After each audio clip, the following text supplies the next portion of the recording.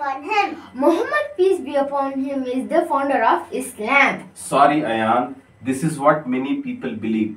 But the truth is, he is lost among all the prophets, first being Adam, peace be upon him, who is the first prophet and also the first human.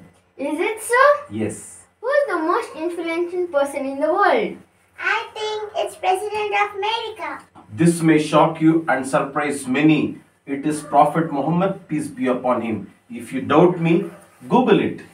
Wow! Who has most followers in the world? It's Cristiano Ronaldo. He has 484 million followers in Instagram. That's great, but that's in the social media world. But in this real world, it is Prophet Muhammad, peace be upon him, who has 1650 million followers. Wow! Yes.